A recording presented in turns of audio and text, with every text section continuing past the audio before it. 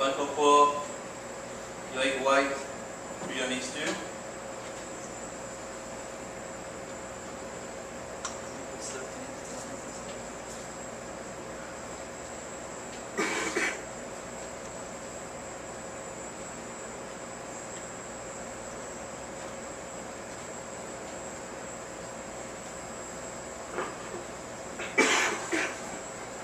And after that, you mention it. You want to make sure the consistency is enough to coat the sweet bread when I put the sweet bread in. Okay? So, if I make my dough a bit thicker, I will get more dough on the sweet bread.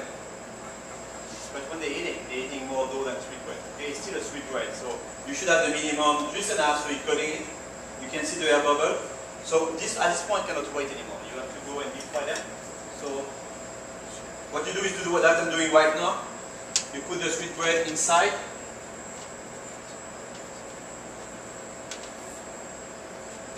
Take two spoons, make sure they are well cooked with it and pour that in the deep fryer. Fine. Thank you very much. Now I can check the sauce, tomato sauce.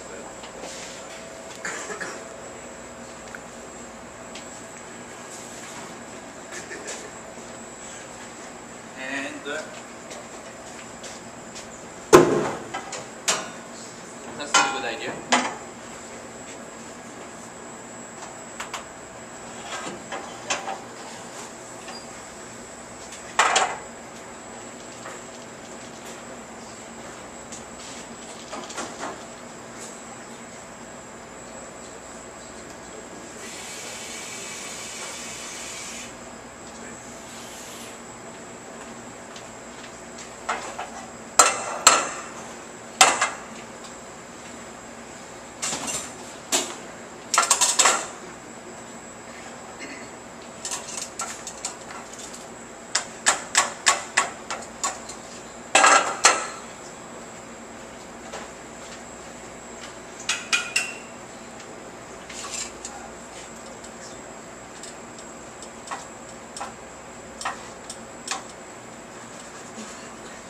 That will be fully.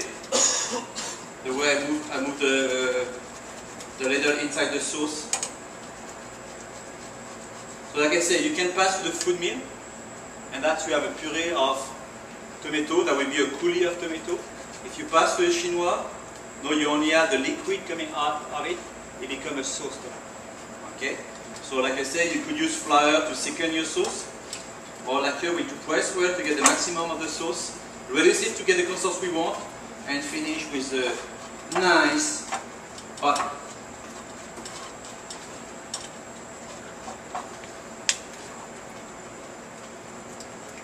So all the seed I have, the skin, we stay in the chinois, so it's why I don't have to worry about peeling pepinet. The other thing is, when you make a tomato sauce, it should be a balance of the acidity and the sweetness of the tomatoes, you know. It's a lot of the recipe of tomato sauce have sugar in it. And it's fine, but it should be like always test it. If you find it's too acid, put sugar. If I can taste the sugar, it's garbage. That's all what that means. I should never taste you add sugar in it. In, I will even say like if I know the tomato I use today are very acid for any reason, I will put more shallot in it. Sweat it longer to give you the sweetness of the shallot, the sweetness of onions or leeks or something like that, instead of adding, or even carrots, ever, eh, instead of adding sugar. Sugar should be the last, last solution. And like I say, if I can taste it, you make a mistake. So use good tomato if it's possible. If not, just put a bit more sweet vegetable like shallot, carrots. Yeah. Do you want to use a blender? Why not? Uh, do you want to use a blend- blender and after that pass to the chinois?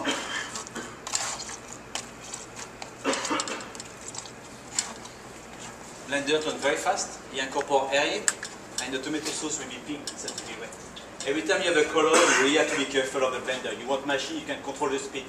If you have a, a, a way to control the speed, sometimes it, it's still it's okay. But okay, so the, the inside should be dry, and you can see what I mean for the skin.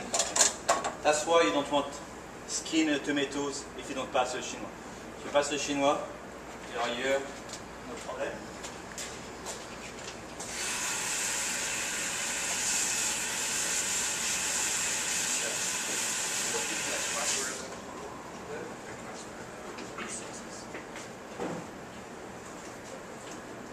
Ah, okay, okay. Forget of it. Yeah, we were talking the other day when we talk about the, the sauce. Today is the tomato sauce. Okay? So it should taste like? So why I put shallots, why I put garlic, why I put herb in it? If it's tomato, I should cook the tomato by himself and that's it. And can, some of the ingredients are here to enhance the flavor. If you mean enhance the flavor, that means my tomato sauce have a nicer tomato flavor. But it's more than that. It's to give a background on the back. Okay, to give your brain and your taste bud to work on it. And I use the, the analogy of the, uh, a crossword or Sudoku. Okay, if you, some of you doing that when you have spare time. Okay, if you get one who are too easy for you, you do it in two minutes. Not a lot of fun. Okay, you cannot even be proud of you because it's a baby one. But if you make one who are too difficult for you, and you don't find the last word or you don't find the last number, you will be mad after you and you're not going to be happy. But if you get a good level of difficulty, your brain is working hard, you pass a lot of time on it, and you get it. Same thing for the sauce. It should be complex enough so I can look for the flavor, look for the complexity of it, but at the end, I know it's a bit shallot on the back, it's a bit garlic, it's tomatoes. How much of each do I want? And I use a lot of energy because taste seems to be the thing people forget the most. But you work more with your eye, work more with your sound. Okay? If you put a painting on the wall here with a white wall, and you put the same painting on this side where the wall is grey, do you think the feeling you will get will be the same? No. No, because the background, the mirepoix, the shallots, everything I put in it are the color of the wall, the background of the wall. So that's why when you go to the a museum for art, they use different kind of wall to present it different room. And if you look at some of them, they make a lot of work on how they present the piece. Is to get you this kind of feeling. When you make your sauce, the same thing. How complex you can make the sauce before it become I don't know what it's inside. It's so many things, it's so strange, it's not good anymore. So it's a limit where too much is not good. So that's what you want to do when you play with your mirepoix, with your ingredients, with the seasoning, the fresh herbs I want to add. How much I will pour before it become a basil sauce? It's not a basil sauce, it's a tomato sauce with basil and parsley. So that's the kind of balance you want to look in it.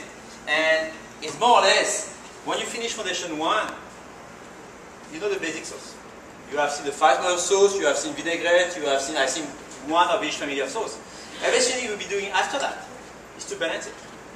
To go away of the very square mother sauce and go to the balance. The good amount of onions, the good amount of herbs, the good amount of seasoning.